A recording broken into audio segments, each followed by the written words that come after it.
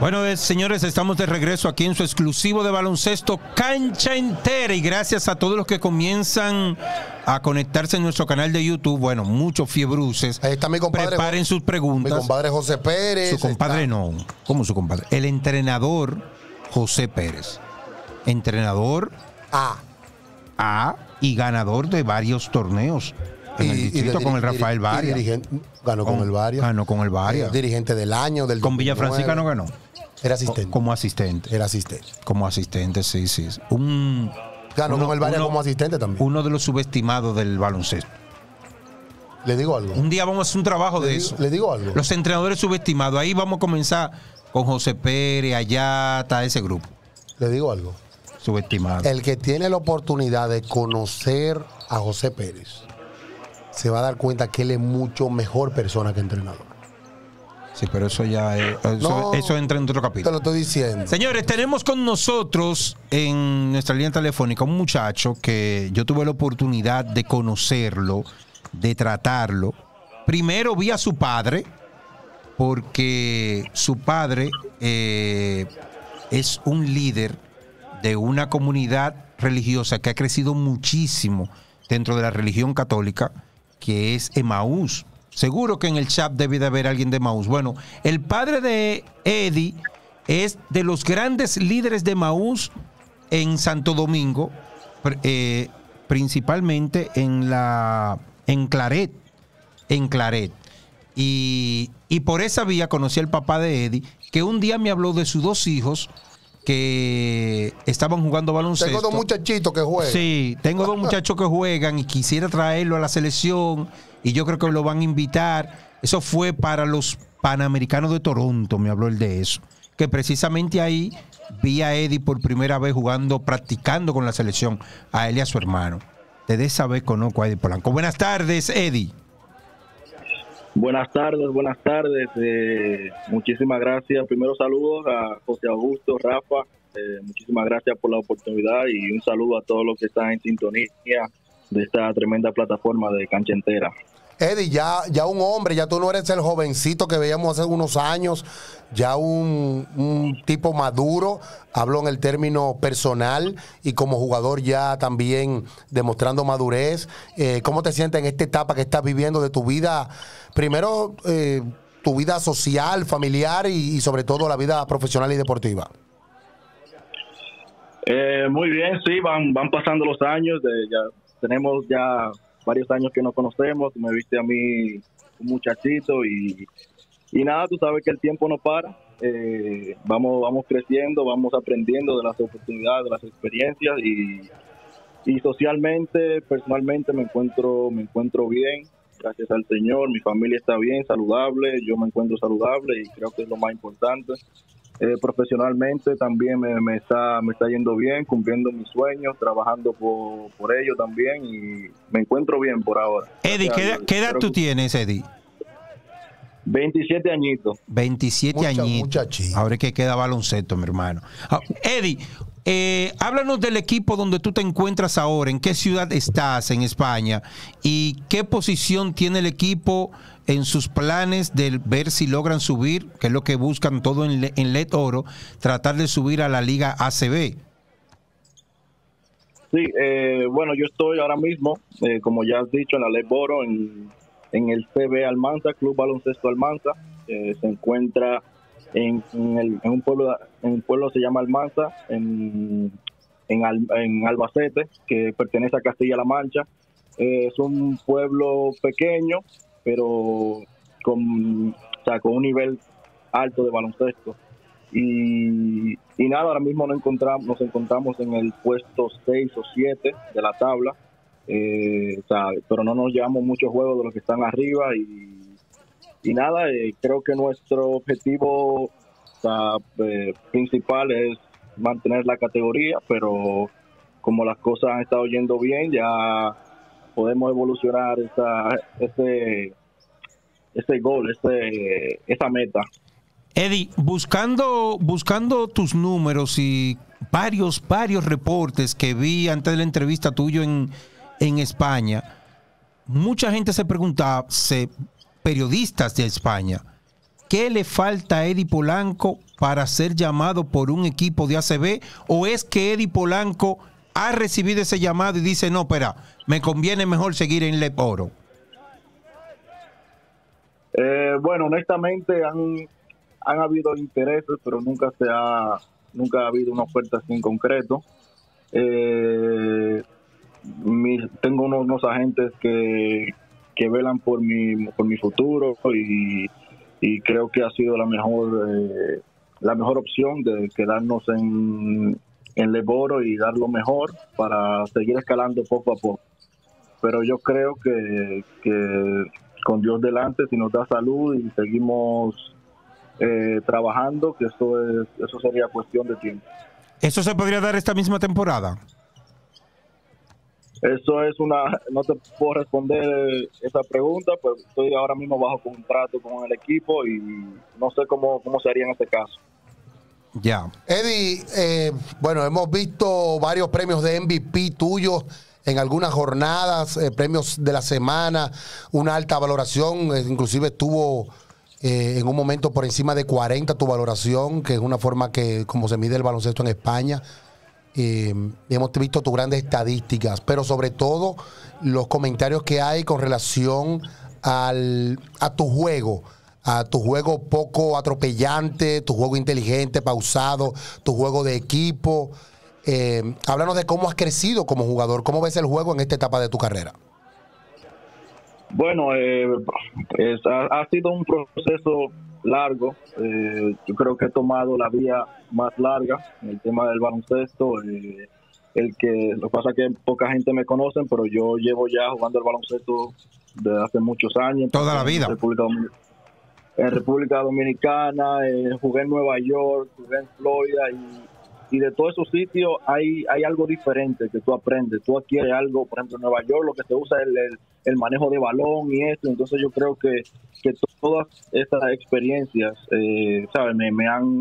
o sea, me han aportado para ser el jugador que soy hoy y, y ahora que estoy en España, donde se juega un baloncesto eh, con mucho sistema y, y donde uno o sea, he podido evolucionar grandemente con, con el aprendizaje que tengo que he tenido aquí en el paso por España.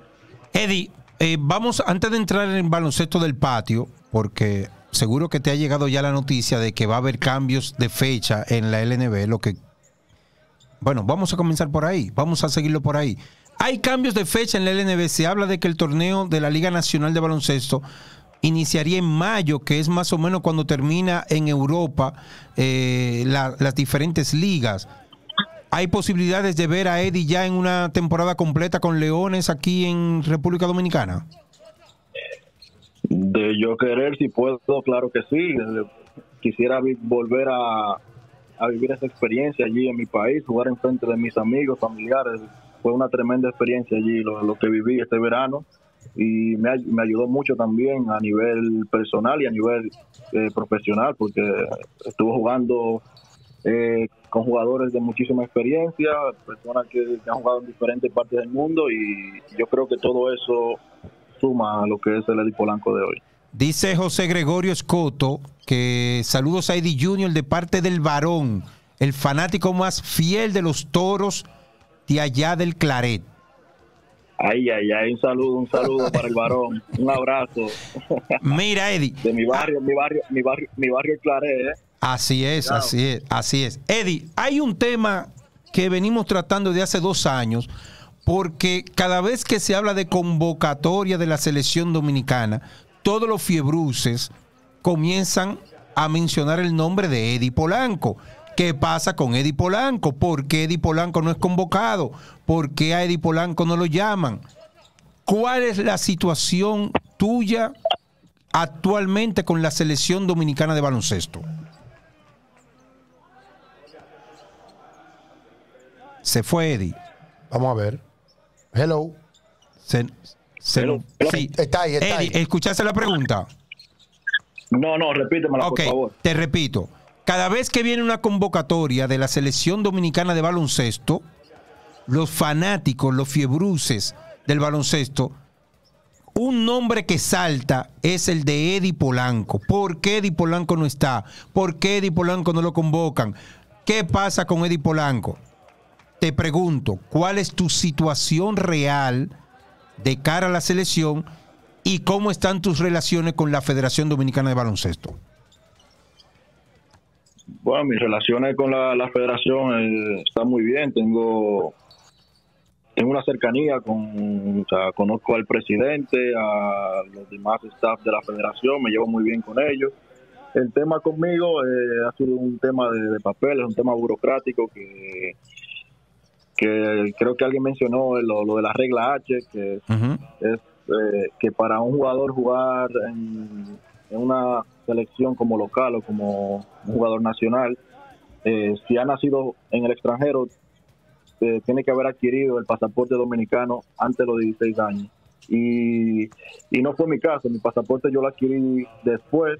Eh, es una historia larga, pero ese es, eh, ese es el tema, que lo adquirí después de los 16, pero en mi caso es diferente porque yo crecí y me crié en la República Dominicana. Yo no soy ningún, yo nací fuera, pero yo no soy extranjero. Yo soy dominicano porque yo estudié en República Dominicana eh, en escuela desde pequeño, eh, desde maternal, de escuela primaria, fui al Colegio Arroyo Hondo, estudié inglés allí, jugué mini básquet, fui selección mini básquet, eh, me gradué de- de- del Colegio Arroyo Hondo allí en bachillerato, entonces no me considero un extranjero, yo soy un dominicano y yo yo creo que yo debería ser considerado como un dominicano cualquiera allí.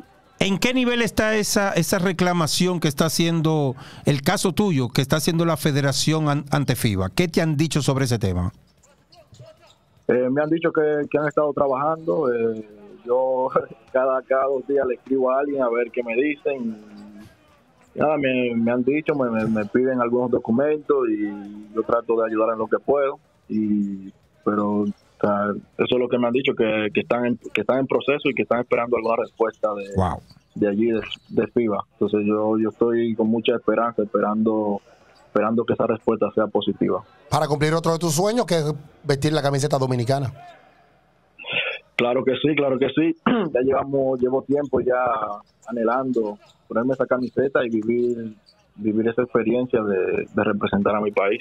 Mira, Eh, dice eh, tu pa- padrino, tu padrino, hermano, amigo, eh, pana de salida, tu Ey, vecino. no, no, no. Sigo diciendo, no. Mairení te pregunta, ¿qué tanto te ayudó Eulis Baez en el tiempo que estuviste compartiendo con él aquí en Leones? Eh, Le, coño, le pusiste mucho mucho papel a... no, Mayrení, Mayrení es una persona que yo conozco desde, desde pequeñito. Jugamos, jugamos pelota cuando teníamos como ocho años. siete Él, años. él todavía es pelotero porque de basquetbol es muy malo jugando baloncesto. Te le fuiste adelante en el basquetbol. Bueno, bueno, yo no sé, no sé de eso, no sé de eso. Pero Cuéntanos de con Eulis. respecto, con respecto a Oli Páez, eh, fue una persona y es una persona actualmente que, que tengo, que siento que tengo confianza, que puedo hablar con él de cualquier tema. Eh, en Dominicana, o sea, lo conocía, pero no lo había tratado personalmente. En Dominicana vi lo, o sea, lo, lo grande que era a nivel profesional, a nivel personal. eh, una persona muy sencilla, una persona que, que ha llegado, que ha pasado todo el proceso del baloncesto, estuvo en, en cuarta categoría España, española y duró, ha tenido muchísimos años en la ACB, continúa en la ACB y es una persona que si te dice él, tírate de por ahí, ya tú te vas a tirar porque sabe que te va a convenir para lo que viene. Y, y eh, te voy a dar una, una pequeña anécdota. Hace menos de un mes yo estaba pasando por un momento como difícil profesionalmente y una de las personas que yo llamé para, para aclarar mi, mi situación, llamé a él y, y tuve una conversación ahí de, de media hora. Yo, Eulis y yo ahí diciéndome, yo te digo y tú me dices y tal, y, y la verdad que yo aprecio, aprecio mucho eso. Eddie, También te- tengo algunos... sí. no, Sí, sí. bueno, que, tam- que también tengo algunos algunos veteranos también que, que, o sea, que poca gente sabe, pero que me que son parte de mi carrera, son parte de mi crecimiento. Y Eulis es uno, es uno de ellos. Eso es importante. Eddie, tenemos al verdadero Eddie Polanco en nuestro chat. Está hablando ahí. Como el verdadero. El verdadero. ¿Cómo, lo- Porque cómo Eddie- verdadero? este, es, este es Eddie Junior a quien estamos entrevistando. Está tu padre, Eddie. Polanco, en nuestro chat ahí. Quería preguntarte, eh, ¿cómo, ¿cómo es la relación con tu hermano? Eh, jugó para el equipo del Millón, pudimos verlo en el baloncesto Muy del bien, Distrito Nacional. muy bien. Sabíamos que está, está en este momento también tratando de cumplir su sueño, como lo hiciste tú en algún momento. ¿Cómo es tu relación con él en este momento? Y, y estoy pensando como si fuera tu padre, como si fuera Eddie, eh, de tener dos hijos jugando el, el deporte que aman y, y uno siguiendo los pasos del otro. Bueno, en primer lugar, para no calentarme, déjame darle un saludo a mi, al patrón, a- al, Estoy diciendo que ese es el original. Llévate de mí. al al patrón don Eddie Polanco que se encuentra por ahí. Un abrazo y un beso, sabe que lo quiero mu- mucho y, y la relación con mi hermano es una, una relación una relación única, una relación increíble. Él es como como un mejor amigo, un amigo cercano, le cuento, le cuento todo, eh, no tiene que ver solo con el baloncesto, sino de mi vida personal, eh, desde que cumplió los 18, 19, 20, es mi compañero de, salir por ahí, de una fiestecita, de salir para un pueblo, vámonos para un pueblo, ¡pum! me voy con mi hermano, o sea, él se ha convertido en mi mejor amigo luego que, ¿sabes? que ha crecido y tenemos tenemos el mismo círculo y con el tema de- del baloncesto para mí para mí es un honor, me, me llena mucho de orgullo de que mi hermano, ¿sabes? Ya, ya Él está en España, Eddie. Actualmente. está- se, encuentra, se encuentra en Tenerife ahora mismo. Eh, está jugando en Liga EVA allí y, y nada, tratando de cumplir sus sueños. Yo creo que, que lo hará muy bien. Es un jugador muy, muy completo, mucho más completo que yo. Eh, él es un jugador que hace todo lo que yo no hago. Eh. Pasarla, defender, todo eso lo hace él y me encantaría jugar con él. Ok. Y, Eso, y eh, tú sabes que por los lados del millón están tratando que se cumpla ese sueño tuyo. Hay muchos rumores de que tienen la intención, eh, algunos ejecutivos, gente de Todos. que ha escalado, Todos. de que tú y tu hermano, junto con Juan Guerrero y Luis Montero, se vistan la camiseta del millón juntos todos. No, y, y está todo el mundo atrás de él, que es gente libre ahora mismo. Ese es otro. El distrito. No lo meten, Bueno, no lo eh, meten, no lo meten en ese lío que no lo dejan entrar al país fácilmente. eso sería eso sería sería grande sería importante eso de, de primero yo jugar con mi hermano eh, compartir cancha con mi hermano y, y luego también tener eso estelar en nuestro equipo de tener a, a Luis Montero Pinguilín a Juan Guerrero Eh, eso sería sería un sueño y sería Si el millón junta ese grupo, mi hermano, mire. Mira, te, te dice Joan Manuel, contestando a Joan Manuel Espinal, Eddie tiene 27 años, acaba de decirlo, y es un jugador de la posición 2. Y uno ocasionalmente. Eh, sí, bueno, él podía hacerlo, pero él es un, es un guard natural, con excelente disparo de distancia, buen manejo del balón. Lo mejor que tiene Eddie en su juego, contestando a Joan Manuel, es que conoce muy bien los espacios. Eddie minimiza mucho los errores porque es un gran conocedor del juego. Entonces lee muy bien y aprovecha esos breaks que da la defensa para, para conseguir cosas. Y él mismo pregunta, eh, Eddie, que si hay aspiraciones a jugar en otras ligas fuera de España o fuera de Europa. Eh, aspiraciones, bueno, jugar fuera de. primer- la primera pregunta, fuera de España. eh, sí, sí, aparece una buena oportunidad. Eh, ¿Por qué no? Que, que le sume a, a, mi, a mi carrera, que afuera de Europa también. O sea, uno, uno nunca sabe, uno nunca sabe quién está mirando y, y uno no puede decir que no porque no, no nos podemos cerrar ninguna puerta. Ok, eh, pregunta Alexandro Rodríguez, eh, nuestro amigo Alex, Alex Sí, Rodríguez, de- sí. del Listín Diario. Claro, Imagínese usted. Eh, tus estudios, Eddie, ¿dónde, ¿dónde estudiaste tu formación académica? Y, y si tuviste algunos jugadores dominicanos que tú cuando niño decías, yo voy a ser como ese. Eh, bueno, yo me, como dije anteriormente, yo estudié en el Colegio Arroyo Hondo, República Dominicana, desde quinto grado de básica hasta que me gradué. Luego me fui a Nueva York, hice un año más de, de high school para el tema de exposición, conseguí una beca, fui a un junior college en Central Florida por dos años eh, y luego fui a la Universidad División 1 en Southeastern Louisiana donde terminé mi estudio, eh, me gradué de negocios internacionales, tengo un, un título, un bachelor's degree, y lo tenemos ahí por si acaso. para cuando se acabe la vida deportiva.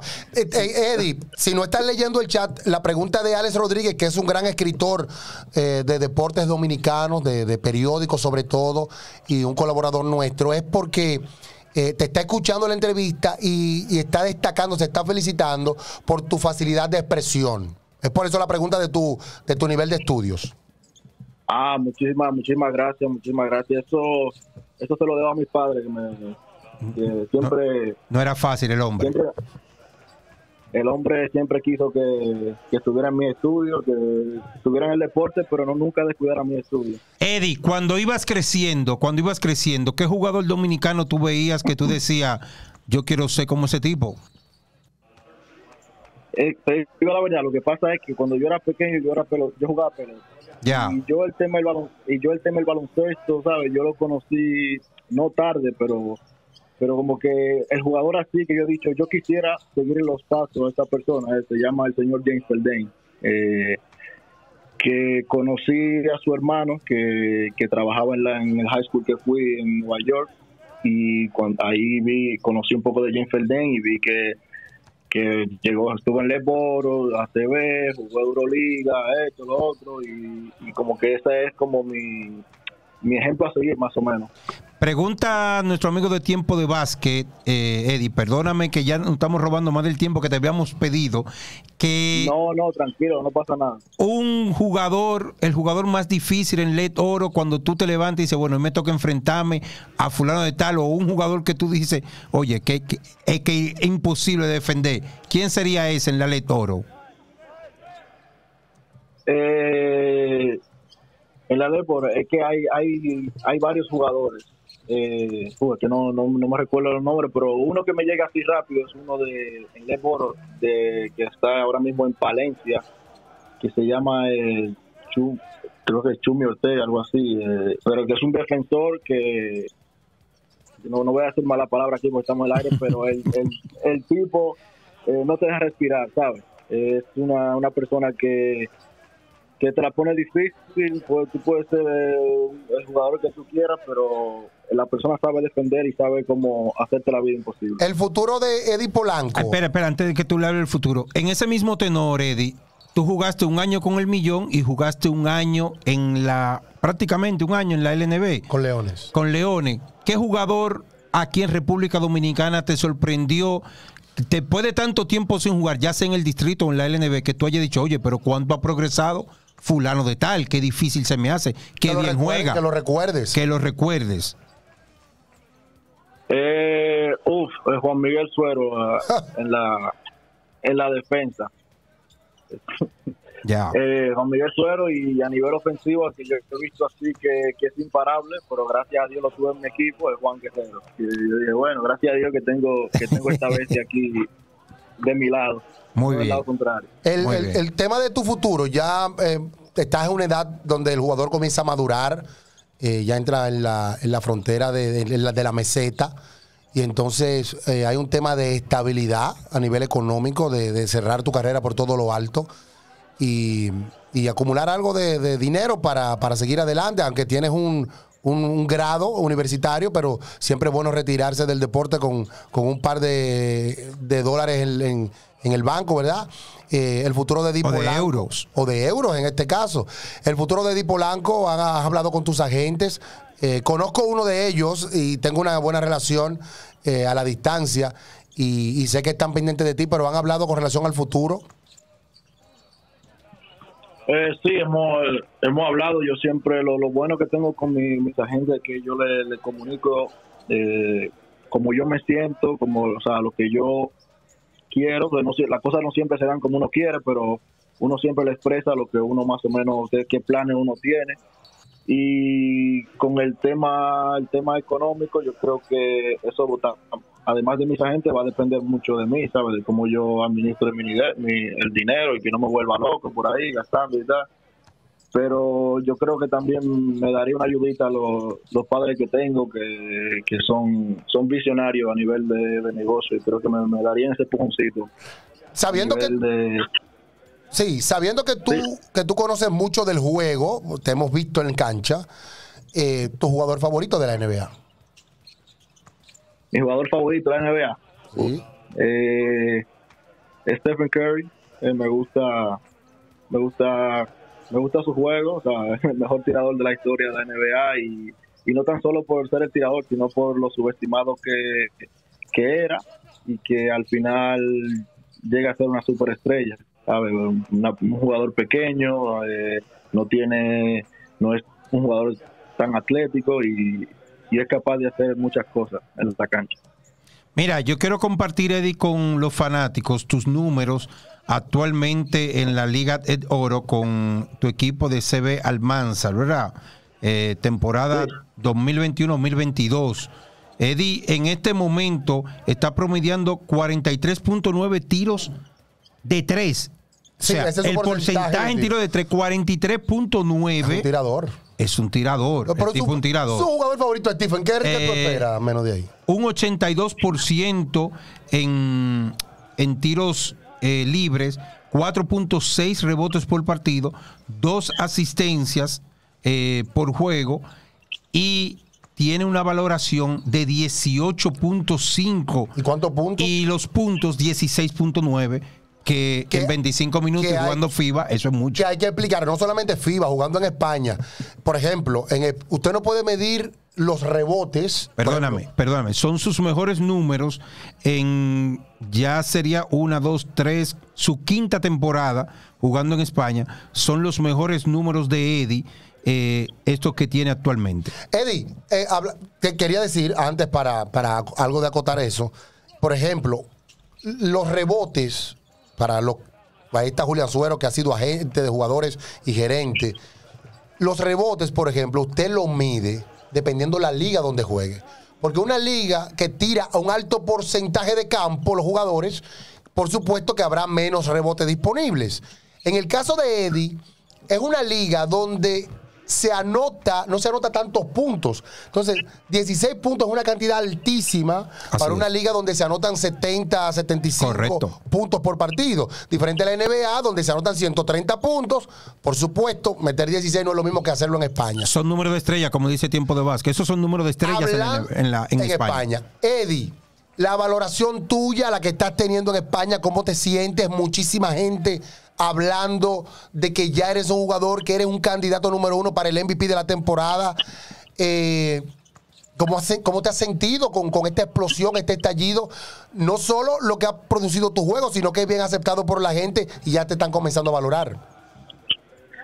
Eh, bueno, sí, para responderte la, la primera parte con el tema de, de rebotes, eh, tengo una, una guerra constante con los grandes porque los grandes del equipo dicen, vea que yo me fajo aquí eh, trancando al grande mío y vienes tú y coges rebote, eh, termina, ter- termina con 10 rebotes, termina con 8 rebotes.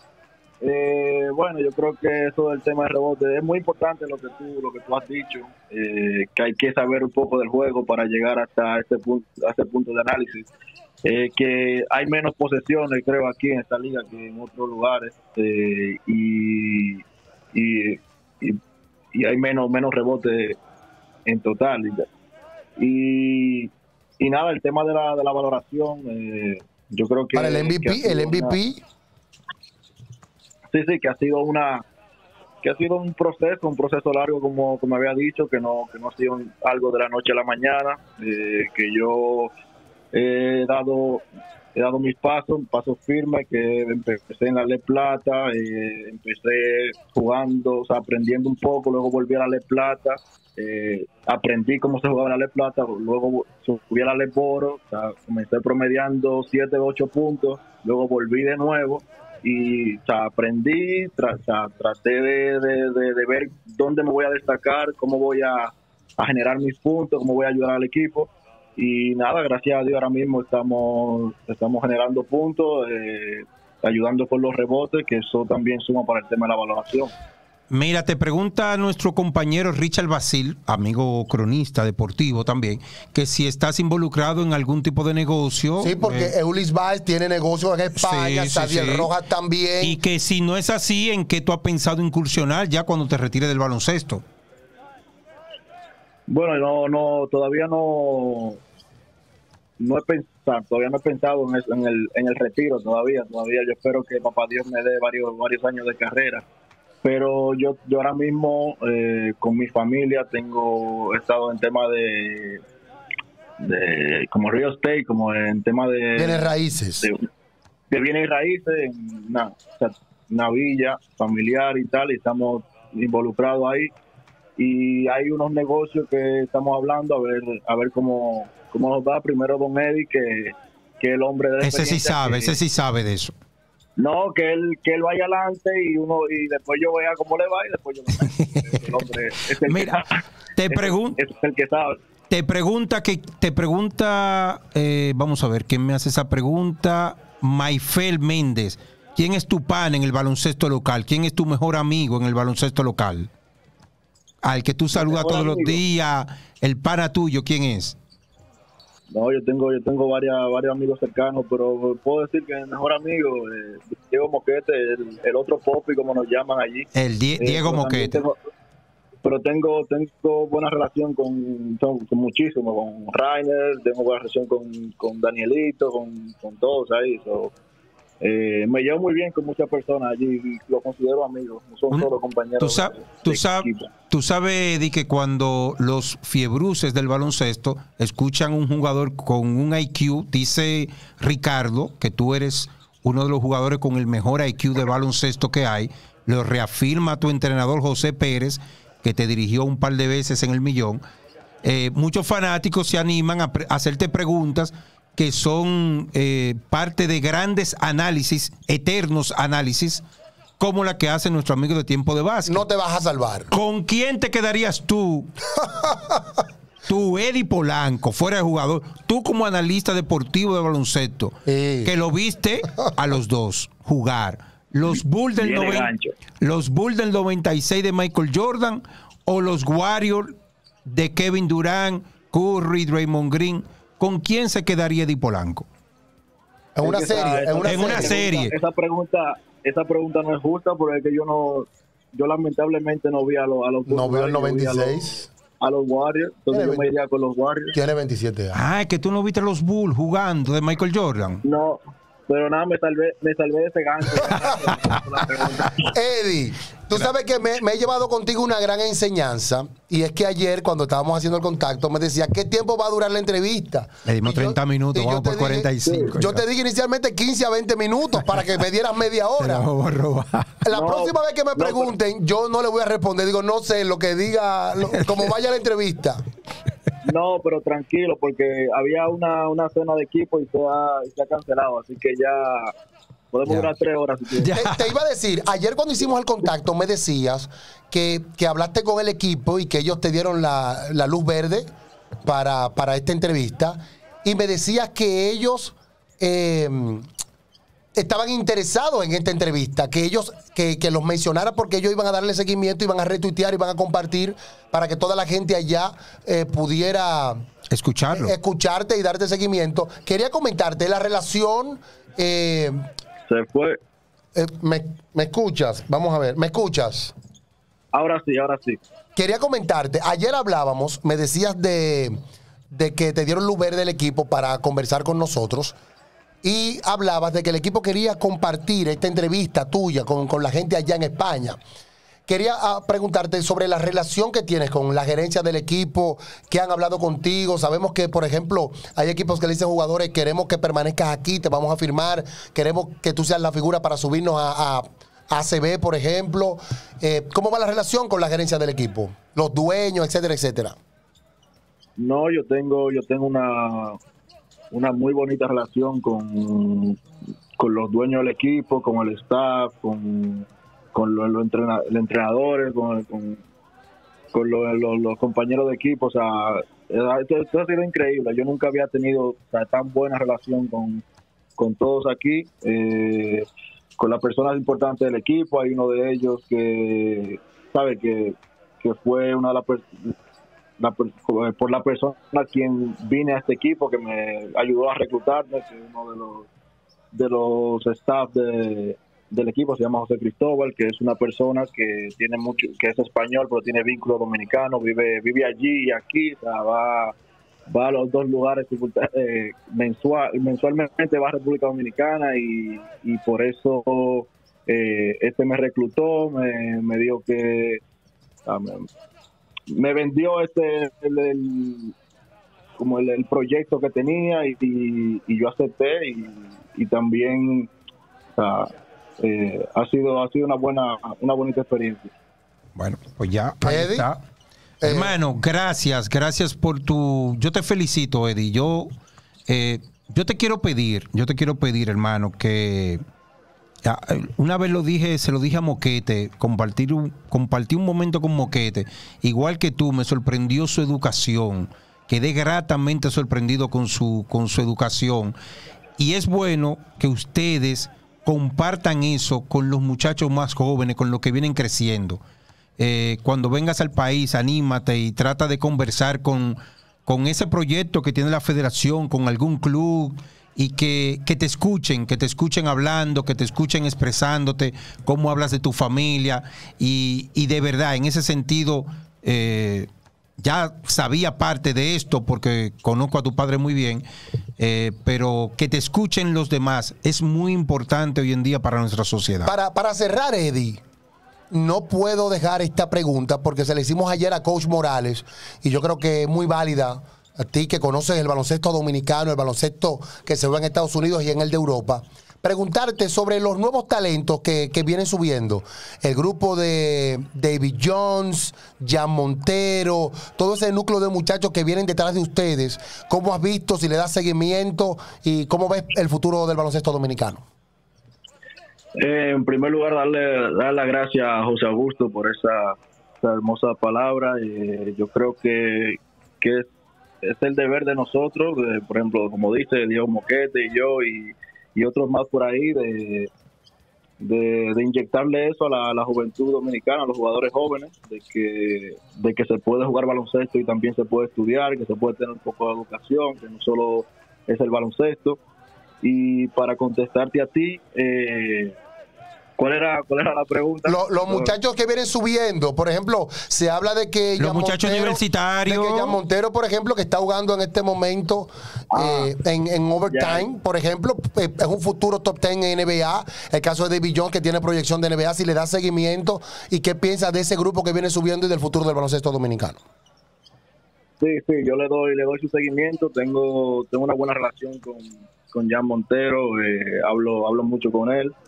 Eh, yo yo pienso que el, que el futuro del baloncesto está en buenas manos. Eh, ellos yo espero que sepan eh, la, la, la, la responsabilidad que tienen eh, y que saben que tiene todo todo un país en, su en sus hombros. Y por parte de David Jones también he visto que, que está haciendo una tremenda temporada en DePaul y que y que papá Dios le, le, le siga dando salud y que siga poniendo poniendo la bandera en alto. Yo de mi parte, Eddie, yo me voy a quedar en una deuda contigo. Yo cada vez que vea al presidente de la Federación Dominicana de Baloncesto, nuestro amigo Rafael Uribe, yo le voy a preguntar, ¿en qué está el caso de Eddie Polanco? Yo te prometo eso. Yo te prometo eso, porque tú te mereces eh, estar en la selección y nosotros como país merecemos que baloncetistas como tú también formen parte de la selección dominicana, porque son un ejemplo para nuestros muchachos. Gracias por tu tiempo, hermano. Gracias por tu tiempo. ¿eh? Gracias, Eddie, y que la temporada termine. siga, que siga como vas. Que la temporada termine como va, siendo exitosa, mucha salud, que es lo importante, y así mismo que, que el don invierta primero, que le vaya bien y después te metes tú. Le va muy bien. Le va muy Claro, bien. bueno, mu- muchísimas gracias y saludos a, los a los siguientes Sa- en la plataforma. Gracias por la oportunidad. Un Saludo a tu hermano también, cuando hablé con él, dice que le dice que le deseamos todo lo mejor a él también. Muy bien, muy bien. Un abrazo. Gracias, Gracias. hermano. Gracias. Fiebruces. Eh, hoy tenemos tiempo extra también. Nos ¿Qué vamos, vamos a la pausa y retornamos con lo que pasó ayer en el mejor baloncesto del mundo. Y hoy, que estamos lamentablemente celebrando el segundo aniversario de la muerte, Trágica. trágica muerte, de uno de los más grandes del baloncesto en la NBA, Mr. Kobe Bryant. Volvemos en breve. Cancha. Entera. Hay un tiempo pedido. Nos vamos a la pausa en cancha entera.